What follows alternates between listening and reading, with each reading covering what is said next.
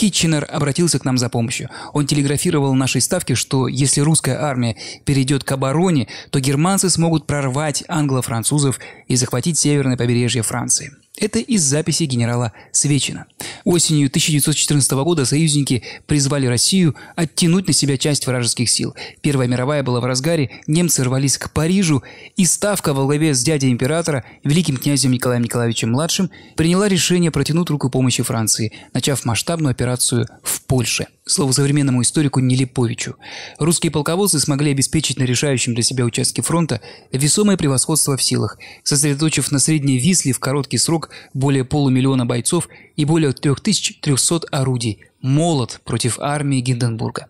Молот этот решено было использовать для удара по Германии, и удар бы его оказался сокрушительным, если бы не несколько обстоятельств. Во-первых, умелое и решительное немецкое командование во главе с парой генералов Гинденбургом и Людендорфом. Во-вторых, тот факт, что противник в начале войны перехватывал и переводил все важнейшие русские армейские радиограммы и был в курсе всех приготовлений. По словам русского офицера, в этом отношении под Лодзью дело дошло до курьеза. Наша радиостанция приняла немецкое радио с просьбой не беспокоиться шифровать наши депеши, так как все равно немцы их расшифровывают. И пока русские армии выстраивались для атаки, немецкий штаб сам повел лучшие свои силы вперед.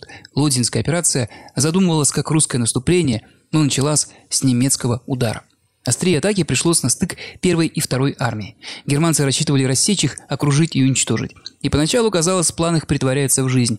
Уже 12 ноября их дивизии попытались взять в окружение 5-й сибирский армейский корпус генерала Сидорина, но тот отступил. Немцы продолжили наступление на юг во фланг основным силам царской армии. И к 18 ноября взяли в полуокружение вторую русскую армию. У города Лодзь русские полки переходили к круговой обороне, уже замаячил разгром. Уже казалось, случится непоправимое, и немцы запустили в обход кавалерию. Отряд генерала фон Шефера Баяделя готов был замкнуть кольцо. Однако 19 ноября наступила своего рода кульминация. На помощь второй армии поспешила пятая армия талантливого генерала Павла Плеви. Ни одна из сторон не согласна была уступать. Командующие по обе стороны фронта отдали команду атаковать. Фактически это был встречный бой, только складывался он уже не в пользу немцев. Большой отряд Шефера Байделя, который должен был триумфально окружить русских, сам оказался в кольце. Генерал Гурко писал. Мы уже видели, как в поисках выхода из непрерывно сжимавшегося кольца русских войск германские транспортные колонны заметались, меняя направление своего движения на прямо противоположное. Позднее стало известно, что одного из сыновей императора Вильгельма пришлось посадить в аэроплан, чтобы переправить по воздуху через наши боевые порядки. 23-24 ноября группа Шефера и днем и ночью начала пробивать себе дорогу. Чудом, потери буквально 70% своих солдат, ей удалось таки вырваться. Даже немецкий военный гений Людендорф вынужден был признать. Крупная оперативная цель – уничтожить русских в излучине Вислы – не была достигнута.